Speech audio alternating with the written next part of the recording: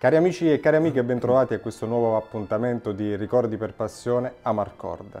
La puntata di oggi è con un ospite importante, un eh, dirigente del mondo del calcio che in quel settore ha lasciato un'impronta, un'impronta pesante. Benvenuto a Luciano Moggi. Buonasera, buongiorno, come volete. Va bene comunque.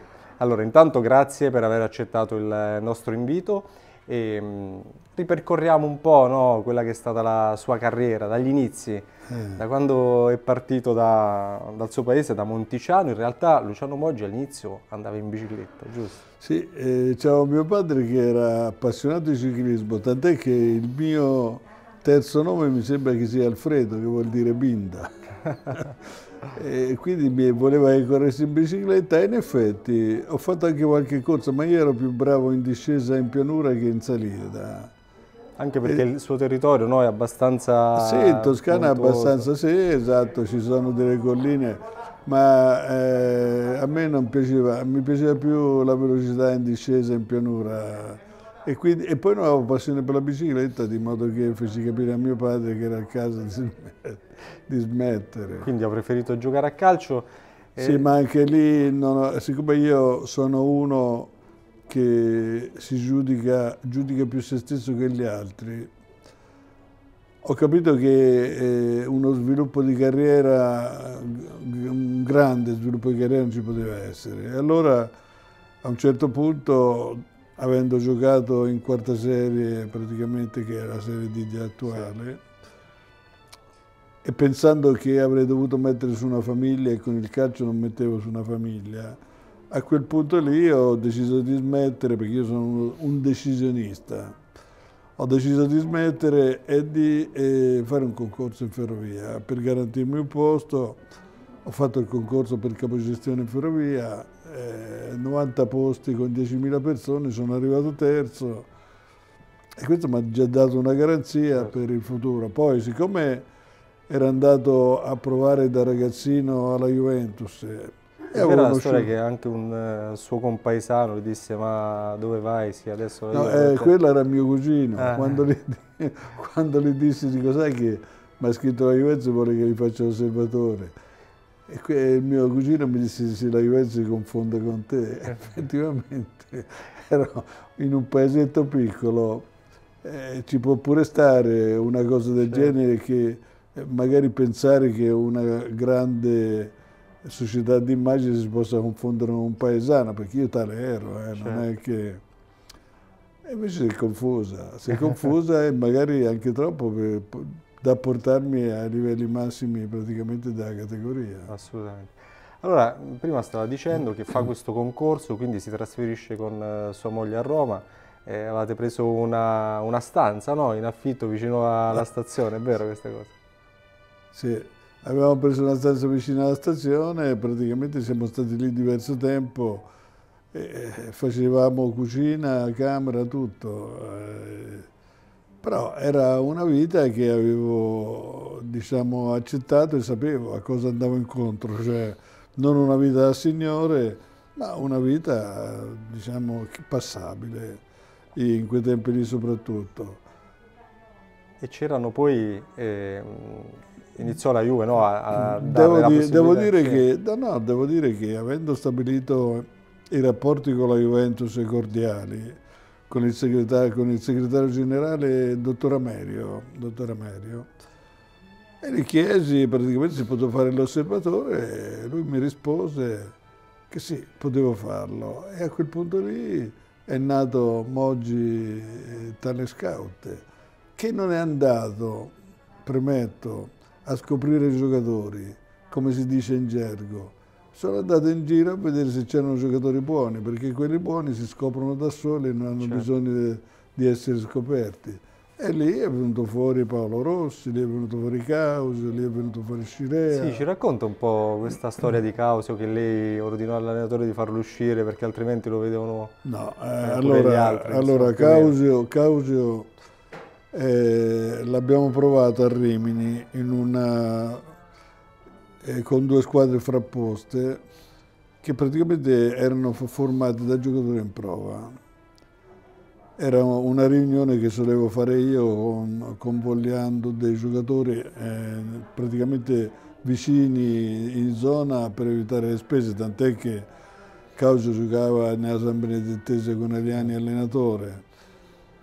E praticamente feci questa prova, da questa prova è emerso questo ragazzino che faceva tutto con la palla, incredibile. E io ho detto al, al capo del settore giovanile, Locatelli, dissi, mi ricordo, togliamo questo nel primo tempo perché altrimenti se lo, vedono, gli altri. E, e si incavolò Causio perché gli dico con Eliani, il suo allenatore, dicendo ma come mi ha mandato un mese a Torino in prova, mi hanno scartato, adesso la Juventus mi toglie alla prima, parte, alla prima parte della partita, io gli dissi stai tranquillo, tu adesso vieni a Juventus, non preoccuparti, ti ho tolto perché mi sembri bravo Oppure mi sbaglio, mi dissi. No, no, non si sbaglia, perfetto. Già quello mi incoraggiò perché eh, avevo visto uno con personalità.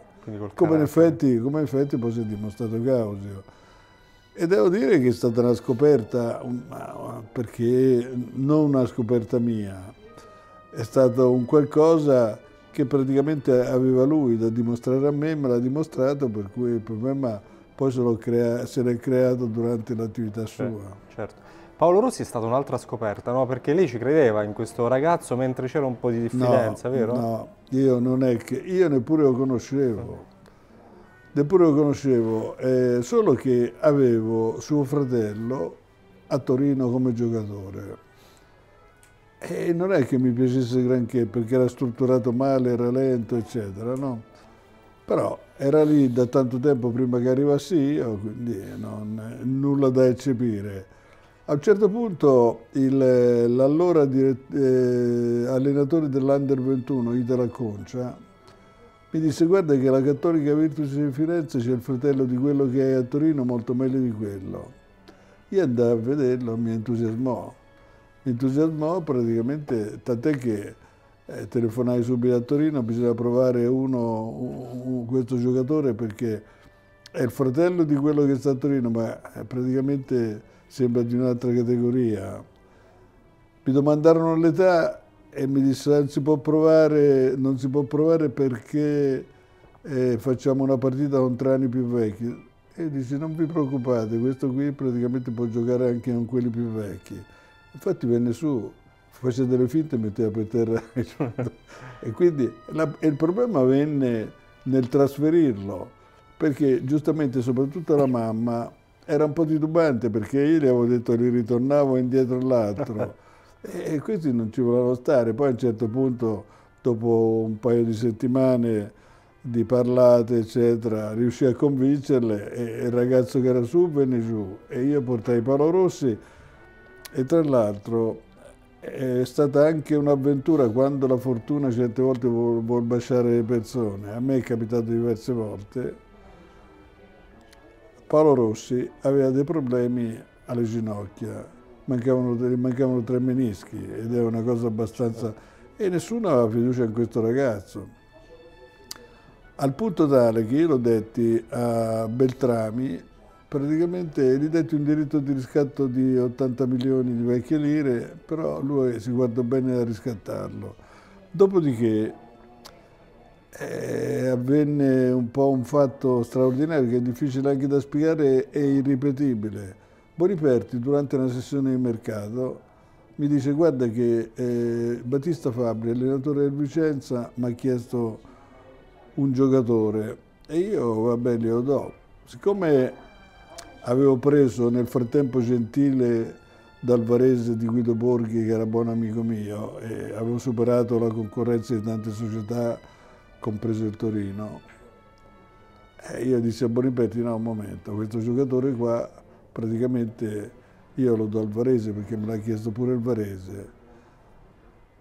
Quindi eh, di a Battista Fabri che praticamente non, non può venire, non può andare Vicenza. Poi eh, mi incontra Battista Fabri e mi fa, dice, ma allora perché non mi vuoi dare questo giocatore? Eh, non ti voglio dare questo giocatore. Sono già in trattative con il Varese di Guido Borghi che mi ha dato gentile, quindi devo avere un po' di rispetto. Però gli dissi, facciamo una cosa, se tu, se io ti do eh, questo ragazzo, tu mi devi prendere Paolo Rossi in prestito. E Battista Fabri, pur di prendere quel giocatore, mi prese, Battista, eh, mi prese Paolo Rossi in prestito, che tra l'altro nella prima parte del campionato non giocò mai. Poi, a fine del girone d'andata, e morì per un incidente stradale Vitali, il centravanti del Vicenza, lui entrò in squadra, praticamente diventò Paolo Rossi. Questa, certo. Ecco, questo qui, e questa è una cosa che praticamente mi riporta anche a un discorso di qualche allenatore tipo Carlo Ancellotti, che so, sono emerse delle cose talmente strane che hanno portato magari dei giocatori... Paolo Rossi indubbiamente perché aveva delle qualità delle enormi. Qualità, certo. Carlo Ancellotti perché io l'ho portato praticamente nelle migliori squadre dove anche uno che sa allenare poco certo. allena bene. Lo porto lei tutto. alla Roma da Parma, no? Con tutto ciò, praticamente, attenzione, Carlo Ancellotti ha delle qualità, non è che lo voglia criticare, però gli ho facilitato il compito. E certo. Diciamo, lo portò lei alla Roma? Da... Io quando, quando ero i primi tempi la recluta, ero una recluta, eh, praticamente eh, presi dal Parma Carlo Ancellotti con allenatore Lidolman. Poi Carlo Ancellotti si infortunò nel Milan, ma io prima eh, praticamente ero stato pregato proprio da lui e dalla famiglia di trasferirlo a Milano, perché lui abita vicino a Milano, a Parma, giù di lì. E io lo trasferì a Milano, li, li presi. Quindi il primo trasferimento l'ho avuto con me, andata e ritorno. Dopodiché ha cominciato a fare l'allenatore nel Parma e io me lo sono preso a fare l'allenatore alla Juventus. I tifosi ce l'avevano un po' perché no, il suo sì, perché ha fatto no? delle dichiarazioni a Parma poco simpatiche. Non... E comunque and ah, siamo andati avanti con Carlo Ancellotti due anni e direi abbastanza bene perché con i due punti una volta ha fatto 72, una volta 73, tenendo conto che si è imbattuto anche nel, nel, diciamo, nel tornado del Curi di, di, di Perugia dove arbitro eh, Collina sì, interruppe per un'ora. Lui si era fatto ricrescere i capelli con l'acqua che era venuta e a noi aveva tolto praticamente uno scudetto perché abbiamo, abbiamo sostato 74 minuti stabilendo un record mondiale tra il primo e il secondo tempo e lì probabilmente, anzi no probabilmente ho sbagliato io perché dovevo prendere la squadra e ritirarla. Solo però io ho pensato a questa cosa qui, avrebbero parlato di arroganza eccetera, ho preferito restare, restare. e purtroppo mal me ne incolse perché abbiamo perso la partita 1-0, certo. ma non solo. Non contento di farci perdere la partita, il buon Collina ebbe anche l'idea strana di espellere eh, Zambrotta che era scivolato in una pozzanghera, praticamente lì si sapeva solo nuotare perché altrimenti si poteva affogare. Pensare che adesso praticamente non fanno giocare le partite sulle previsioni meteorologiche. Le, le faccio una domanda, ma se Moggi veramente era il capo, no, così hanno detto, no, di tutta questa organizzazione, del calcio, no, appunto, avrebbe fatto sospendere la partita col Perugia, no? No, si sarebbe eh, rigiocata. Potevo portare tranquillamente via la squadra e si sarebbe rigiocata la partita certo. per condizioni meteorologiche avverse. Il problema, sai qual è? È che eh, si è trasformata la stima della gente che aveva in me in potere e questo l'hanno fatto praticamente coloro che volevano destabilizzare l'ambiente. Per esempio, quando in sede di Calciopoli il PM Narducci ha detto pensate che potere a Moggi, le ha telefonato persino il ministro dell'interno Pisano, eh, Narducci non sa o ha fatto finta di non sapere che il ministro dell'interno Pisano era nato praticamente a Monticiano. Era un sardo che stava a Monticiano e che addirittura ha sposato praticamente una ragazza di Monticiano del paese mio, per cui io ci ho vissuto l'infanzia, ci ho vissuto l'infanzia, quindi gli davo del tuo. Adesso non so se lui non lo sapeva oppure ha fatto finta di non sapere, ma l'ha trasformato in potere. Il potere nel calcio non esiste, esiste la stima. Che poi la stima si chiami potere è un altro discorso. Certo. E, tornando a Ancelotti, eh, ci fu quell'episodio di Perugia, ma ci fu anche eh, il cambio dei regolamenti in corso, se non sbaglio l'anno prima. A, a Roma, a Roma eh, eh. c'era praticamente il giubileo che era durato due anni a Roma, una volta con la Lazio e una volta, e una volta con la Roma. E lì praticamente è stato eh, l'ex direttore generale del, della Roma, Gianni Petrucci, che era diventato presidente del CONI e poi era diventato anche, eh, direi, capo della, della, federazione. Evidentemente ricordandosi dei trascorsi alla Roma, nella settimana che precedeva la partita Roma-Juventus Juventus e Roma che poteva decidere il campionato, ha ritenuto bene di far cambiare il regolamento in corso e far giocare Nakata che non aveva mai giocato una partita. Certo. E Nakata, guarda caso, segnò un gol e fece fare il secondo per il pareggio e la Juventus perse il campionato a favore della Roma. Sono cose so che capitano. Che... Però ecco, quando è ritornato ad Ancellotti per dire certe volte che un percorso fortunato, no? Io decido, decido alla fine del secondo anno di non confermarlo, però gli faccio un contratto di un anno, perché mi dispiaceva, secondo me aveva fatto molto bene, mi dispiaceva praticamente tenerlo fermo senza stipendio, anche perché avevo pensato che prima o poi l'avrei sistemato, tant'è che avevo preso l'accordo con il, il presidente del Galatasaray e gli avevo fissato un appuntamento a Parma. Il giorno che lui è partito da casa sua per andare a Parma, per andare a incontrare il presidente turco, mi telefona Berlusconi. Mi telefona Berlusconi e mi fa, dice, ma tu di, di Carlo Ancellotti che ne dici? Eh, io le dice bravissimo e le ho spiegato gli inconvenienti che aveva avuto con noi e anche perché non era molto ben visto da, dagli spettatori che a me mi interessavano poco certo. da tifosi, però eh, ho fatto per cambiare anche perché praticamente Lippi eh, era venuto a cercarmi per riprenderlo, quindi c'erano state delle cose abbastanza, abbastanza complesse e io decisi di riportare Lippi a Torino. Berlusconi mi disse chiama Ancellotti e digli che anziché andare a Parma venga a Milano e faccio il contratto. E io chiamai Ancellotti e gli dissi guarda che Berlusconi ti vorrebbe fare il contratto. Io non spesi l'anno di contratto che avevo fatto certo. da Ancellotti, però a lui ho creato una fortuna perché entrando nel meccanismo delle grandi squadre certe volte anche se uno non è molto capace, però Ancelotti era capace, certo poteva emergere. Lui le cose che ha fallito sono l'Everton, il Bayern Monaco e qui Napoli.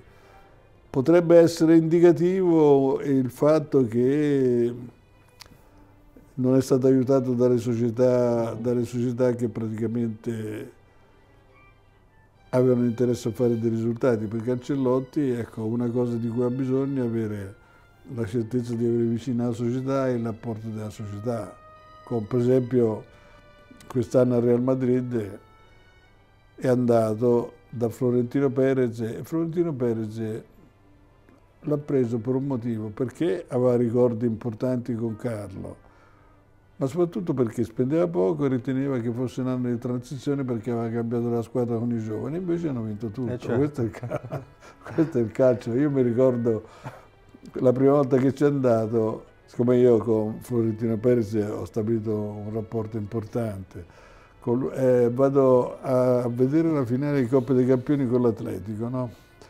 E vado da Florentino Perez e gli faccio, dico, come va Carlo? Eh, ci va bene. Gli ho detto che però se non vince la Coppa dei Campioni lo caccio via. Io mi sono un po' meravigliato. Poi vado a ritiro della squadra, c'è Carlo, e gli dico, ma eh, col presidente come va? Ah, no, benissimo. Mi ha detto che se non vinco la Coppa dei Campioni mi caccia via.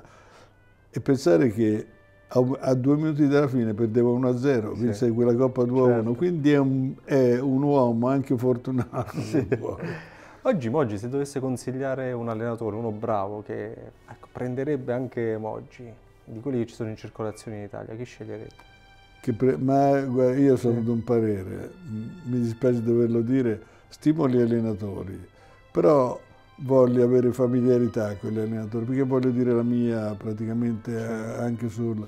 Quindi mi sono sempre trovato nei confronti di persone e cose che ho scelto per, per, avere libertà anche di esprimere il parere mio, perché io credo che quattro occhi facciano meglio che due. Qui per esempio a Napoli, eh, l'ultimo anno, ho preso un allenatore che non ha più allenato, Bigon sì. e quell'allenatore ha vinto il campionato qui a Napoli, quindi voglio dire, eh, è la dimostrazione che se un allenatore è, è aiutato dalla società, prima di tutto acquisisce importanza nei confronti dello spogliatoio ed è una cosa eh, veramente direi basilare. E poi oltretutto si sente più sicuro nel, nel fare le cose. Certo nelle sue squadre ci sono sempre stati grandi campioni. Eh, di tutti quelli che ha avuto, quello più difficile da gestire chi è? Maradona. è scontato. E questo, e questo era praticamente l'albergo dove siamo adesso, era quasi il luogo di residenza di Maradona, perché lui amava il mare, si affacciava alla fine, sì, esatto. Il problema di Maradona, però, eh, lo conoscete tutti, era un problema di una persona che quando stava bene era praticamente incredibilmente, direi eccezionale, perché aveva proprio la voglia di far bene al prossimo, io gli ho visto fare delle cose con delle persone che avevano bisogni inenarrabili. Poi purtroppo aveva eh, i momenti in cui era intrattabile e questo qui lo portava a essere praticamente a indispettirmi. Mm. Nonostante che io gli volessi bene perché era praticamente un ragazzo che si meritava tutto. E per chi non l'ha conosciuto si può fare idee diverse, io perché l'ho vissuto per quattro anni, devo dire che eh, mi è rimasta impressa una, una figura indelebile che è stata magari trasportata, fuorviata dagli avvenimenti, perché era nato povero, trovarsi ricco praticamente può averlo trasformato proprio nella testa, ma è veramente una persona squisita e magari in tanti non ci credono, ma purtroppo, no purtroppo, meno male che era così, che eh. ha fatto una fine non tanto simpatica e questo mi dispiace. Io ho avuto anche degli attriti con lui, mm. perché lui era difficile da portare al campo ad allenarsi, ma era difficile poi portarlo via quando, venuto, quando fosse venuto. Di conseguenza ho avuto dei problemi abbastanza, eh, abbastanza difficili nella sua gestione. Faccio un esempio tipico. Quando abbiamo, eh, siamo andati a giocare in Coppa dei Campioni per gli ottavi di finale a Mosca. Giocavamo il mercoledì e noi partivamo la squadra il lunedì. Maradona aveva detto tutta la settimana datemi un DVD perché volevo vedere film, un film da, da, Napoli a Mosca che è un viaggio di tre ore eccetera. Era tutto pronto, però il lunedì, il lunedì non era pronto lui perché siamo arrivati in aeroporto e mancava Maradona. Io sono andato Solitamente mandavo il medico, il dottor Bianciardi, sono andato io personalmente a casa sua per dire a Claudia, la moglie, e a Coppola, il procuratore, per dire che se fossero arrivati il martedì, Maradona non giocava la partita. Infatti, il martedì sera arrivò Maradona, io feci mangiare la squadra con lui, con tutti quanti, poi chiamai il presidente Ferlaino e tutta la squadra. A Maradona di fronte a tutti gli dissi Diego, se va via te succede il finimondo a Napoli, se vado via io non se ne accorge nessuno. Io siccome con te non ci voglio più stare, praticamente dissi a Ferlaino da aprile in poi, io adesso sto qui per la normale amministrazione, da aprile in poi trovati un altro direttore perché io me ne vado via. E così feci. Scelta coraggiosa. Poi. Beh, una scelta coraggiosa. Era diventata un, un, allora, la mia può essere, può essere stata una scelta coraggiosa, però era un qualcosa per invogliare anche eh, Diego a tornare a fare qualche passo indietro certo. rispetto a quello che faceva, ma lui eh, non, era... poteva. Non poteva. Certo. Era, era, proprio soggetto a crisi per cui era difficile e di conseguenza io ho preso una decisione irremovibile di andarmene. Devo dire che quell'anno che me ne andai lui fu sorteggiato al doping qualche mm. settimana dopo e risultò positivo. E quindi finì, insomma, l'era Maradona. Eh, dopo, dopo, poi dovette andare via, è finita la favola di un giocatore che secondo certo. me è stato il migliore del mondo. Assolutamente. Io non ho mai trovato un giocatore che era più forte atleticamente che tecnicamente. Pensare quello che era tecnicamente. Faceva sbattere gli avversari tra di loro e ci passava in mezzo. certo, era, era, era, una era cosa così. veramente... È difficile da descrivere, infatti quando sento io che fanno un paragone con Messi mi vede a ridere. Certo.